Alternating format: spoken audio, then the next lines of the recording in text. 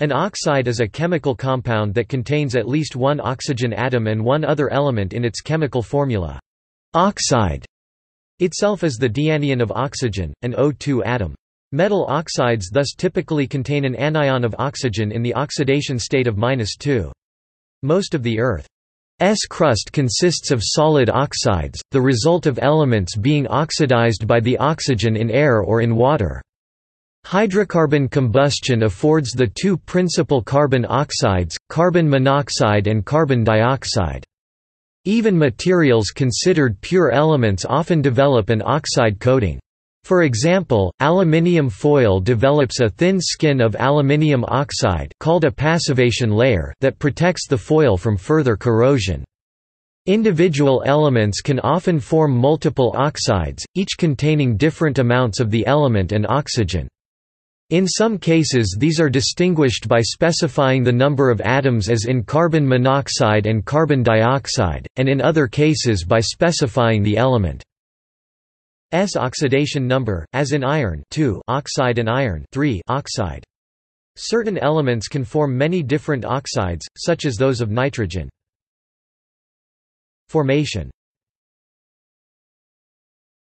Due to its electronegativity, oxygen forms stable chemical bonds with almost all elements to give the corresponding oxides.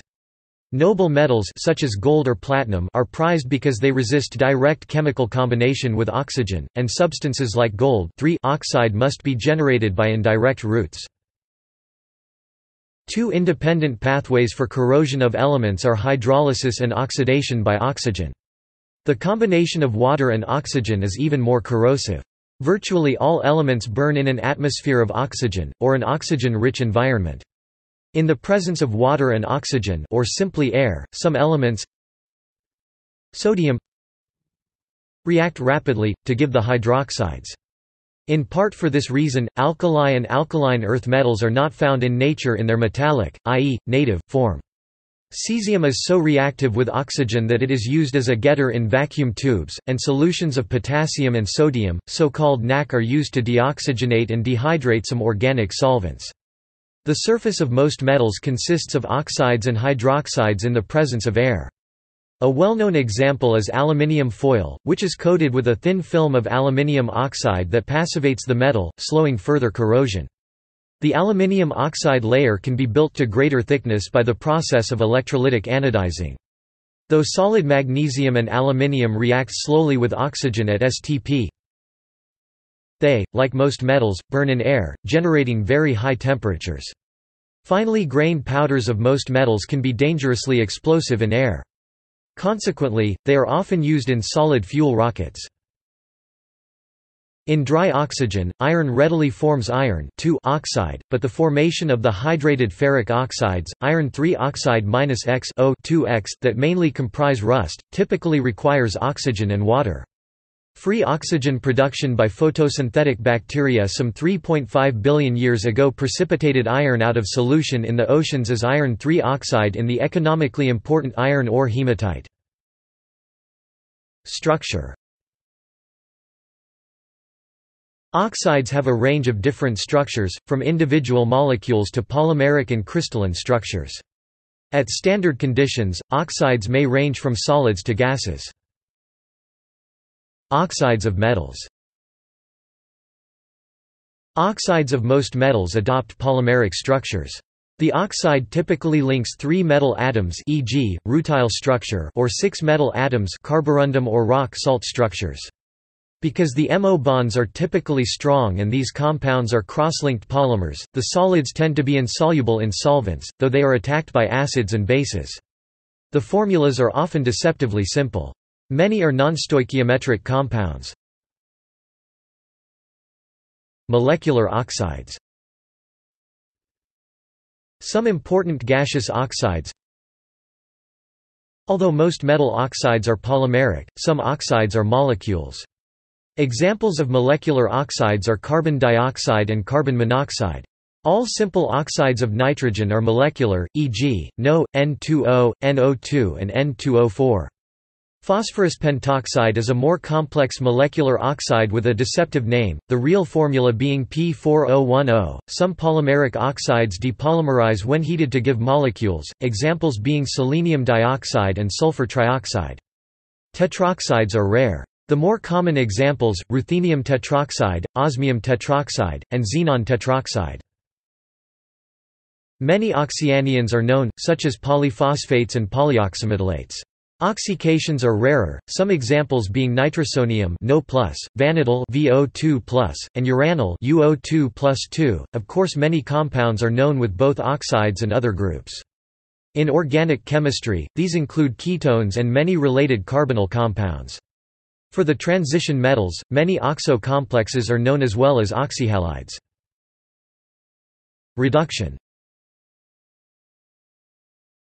Conversion of a metal oxide to the metal is called reduction. Reduction can be induced with many reagents. Many metal oxides convert to metals simply by heating. Reduction by carbon Metals are «won» from their oxides by chemical reduction, i.e. by the addition of a chemical reagent. A common and cheap reducing agent is carbon in the form of coke. The most prominent example is that of iron ore smelting. Many reactions are involved, but the simplified equation is usually shown as 2 iron 3 oxide plus 3 C4 Fe plus 3 CO2 metal oxides can be reduced by organic compounds. This redox process is the basis for many important transformations in chemistry, such as the detoxification of drugs by the P450 enzymes and the production of ethylene oxide, which is converted to antifreeze. In such systems the metal center transfers an oxide ligand to the organic compound followed by regeneration of the metal oxide, often by oxygen in air. Reduction by heating Metals that are lower in the reactivity series can be reduced by heating alone. For example, silver oxide decomposes at 200 degrees Celsius 2,4 Ag plus O2. Reduction by displacement Metals that are more reactive displace the oxide of the metals that are less reactive. For example, zinc is more reactive than copper, so it displaces copper oxide to form zinc oxide Zn plus CuO ZnO plus Cu. Reduction by hydrogen Apart from metals, hydrogen can also displace metal oxides to form hydrogen oxide, also known as water. H2 plus CuOCu plus H2O. Reduction by electrolysis Since metals that are reactive form oxides that are stable, some metal oxides must be electrolyzed to be reduced. This includes sodium oxide, potassium oxide, calcium oxide, magnesium oxide, and aluminium oxide. The oxides must be molten before immersing graphite electrodes in them. 2 aluminium oxide 4 Al plus 3O2. Hydrolysis and dissolution Oxides typically react with acids or bases, sometimes both. Those reacting only with acids are labeled basic oxides. Those reacting only by bases are called acidic oxides. Oxides that react with both are amphoteric. Metals tend to form basic oxides, nonmetals tend to form acidic oxides, and amphoteric oxides are formed by elements near the boundary between metals and nonmetals metalloids. This reactivity is the basis of many practical processes, such as the extraction of some metals from their ores in the process called hydrometallurgy. Oxides of more electropositive elements tend to be basic. They are called basic anhydrides. Exposed to water, they may form basic hydroxides. For example, sodium oxide is basic. When hydrated, it forms sodium hydroxide. Oxides of more electronegative elements tend to be acidic. They are called acid anhydrides. Adding water, they form oxoacids. For example, dichlorine heptoxide is an acid anhydride, perchloric acid is its fully hydrated form. Some oxides can act as both acid and base. They are amphoteric. An example is aluminium oxide. Some oxides do not show behavior as either acid or base. The oxide ion has the formula O2-. It is the conjugate base of the hydroxide ion, O- and is encountered in ionic solids such as calcium oxide. O2- is unstable in aqueous solution minus its affinity for H is so great pKb 38 that it abstracts a proton from a solvent H2O molecule O2 plus H2O2O minus the equilibrium constant of aforesaid reactions is pKeq tilde 22 in the 18th century, oxides were named calxes or calces after the calcination process used to produce oxides. Calx was later replaced by oxide. Reductive dissolution